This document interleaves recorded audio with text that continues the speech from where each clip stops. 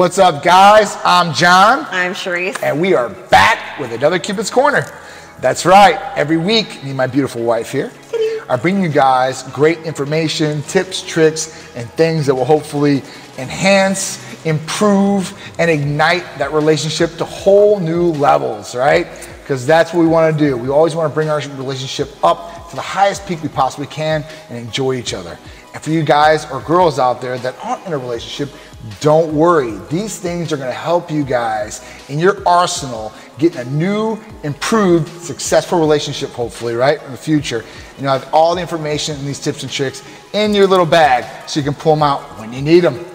So today, you know, we want to talk about something that, you know, I think everybody needs to talk about with their partner. Communication is always key and we always bring it up. So why not here too as well?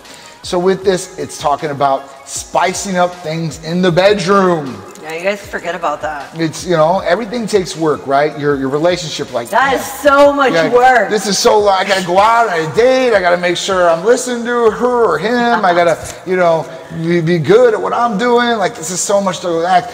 You know, but the bedroom activity. You know, we always want to connect with our partner mentally, right? Emotionally, but physically too as well. And that could be by a kiss or by a hug or by holding hands.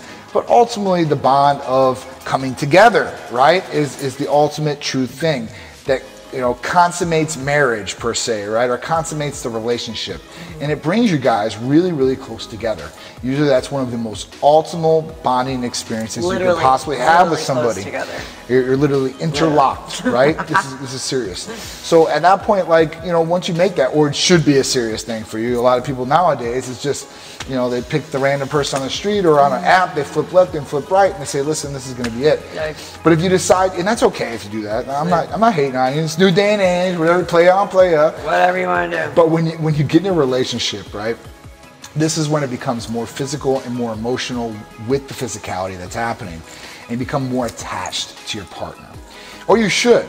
And um, with that, you know, it's something that you need to constantly do, right? It's not something you do the one time and then you know you go ten years. You're like, no, because you know us here as humans, we are made and wired to you know conceive per se, right? Now we don't want to have a whole bunch of babies, but I think everybody enjoys uh, the act of sexual activity. Oh yeah, I mean, Or should. And if you don't, then we should probably address that, right? You know? Absolutely. Yeah, there should. There maybe there's other underlying issues, right? Absolutely. And I feel like after you know, I hear it all the time that you know that you're married, right? And let's just say that you guys only hit the bedroom once a month. Yikes. guys you guys got it you got to kick it up a notch Yeah. right I- i mean let's i'll be realistic with you guys but maybe once a week at minimum i think would be the minimum because i'm telling you a lot of couples out there there it's a it's like a once a month thing i don't know about Or even that. longer. That- i mean john would not go for that No way. he would not go for that Come on, so uh, you know i'm just saying And I'm you gotta- 15 years in. i know i mean that's what i'm saying don't say gotta- it's a married thing. I, Yeah. that's the most common excuse That is, it's a married thing. No, no, no, no, no, no, no, no. I'm sorry, you're not gonna be able to get away with it. no. And you can still spice it up with lots of things. They, Yeah. they make many things out there for you guys to spice it up with. It's the new day and age of many cool things. We'll just label it as that. Mm. Or you know, put on a little outfit or something. You, you know, go. sometimes that, that that'll spice it up. So there's there's plenty of ways to spice it up and make it you know make it nice. And even if you don't spice it up, just get in there. Yeah. And do the do yeah. the deed. Yeah. Just do it. You know, like Nike. And communicate too. Like, hey, you know, it's good to ask your partner, hey, listen, you know, is there anything I can do that will improve the experience for you? Even if you've been together forever, it's always good to communicate about these things. You might learn a bit more or try something new, possibly, hey, that maybe you both like, you never know. Uh, at that point, it's serious, you know.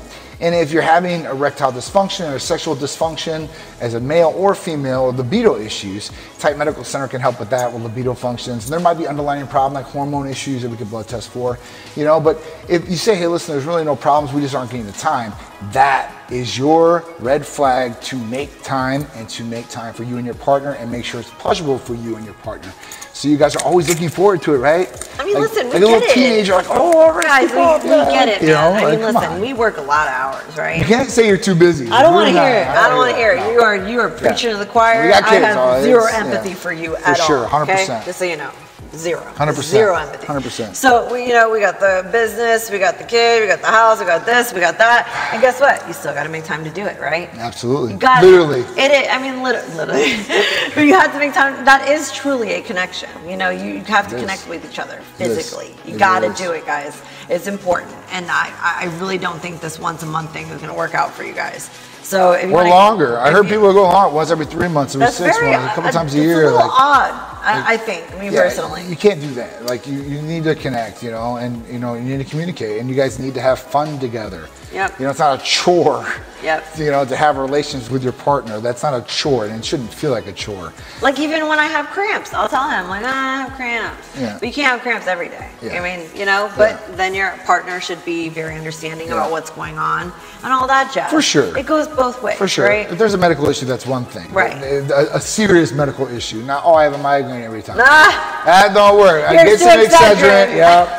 Get the Excedrin. That's you do You know, ah, I'm not, you know, I'm having, I'm going through menopause. I'm, I'm dry down there again. Some, uh, I mean, come on, like, there's things that we can do that to get Plenty. past some of these things. Plenty so don't make excuses either. Yep. Um, you, you guys got to be responsible for your relationship, and if you want a successful relationship, you have to work at it.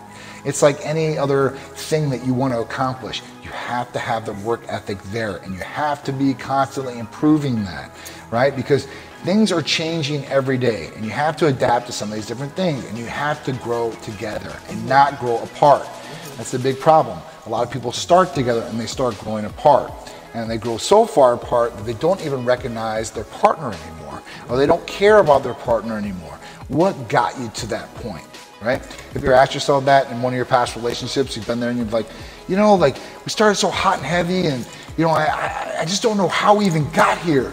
no, you let it go for too long. You, you've let something go too long. Your partner didn't communicate something to you at that point because you guys weren't communicating. And like I said, that goes back to it. But you know, the sexual activity, uh, you know, or the relationship, the love needs to be shared. That passion needs to be shared between you and her, or him and her, or however you guys are doing it out there. I don't care. I mean, I, you know, I, I- love is love, right? And whoever you love, just show them that love and that physicality mentally too as well and emotionally but all three of these things go together like i like to say harmonic balance There is a harmonic balance. If you, and, and listen, especially if you don't like something they're doing, please say it because then you might want to do it more Yeah. if they stop doing what you don't like. Yeah. So that's communication. Right. Once again, you know, like Right.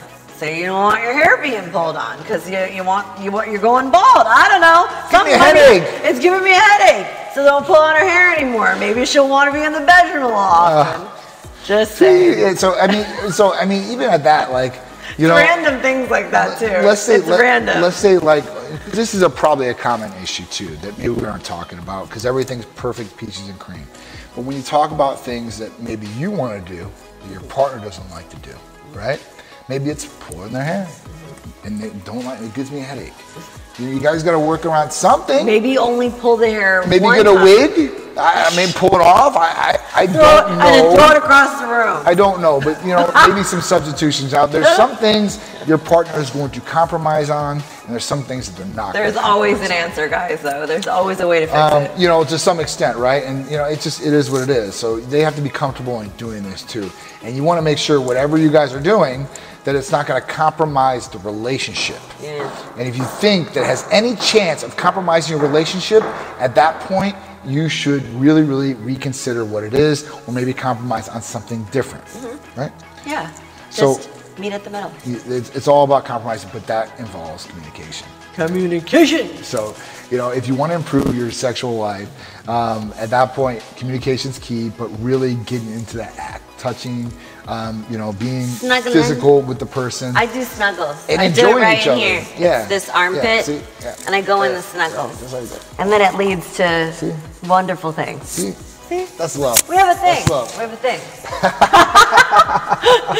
You know, so if you're willing or wanting to improve the relationship, I would definitely consider this. Um, I would definitely consider, you know, taking this advice. Uh, and now, if you have a great, you know, life in the bedroom, then hey, listen, keep on at what you're doing, but don't let it putter or spit spat out, or let that flame, you know, go away. Make sure that your constant flame is going, the heat is rising in all ways, shapes, and forms.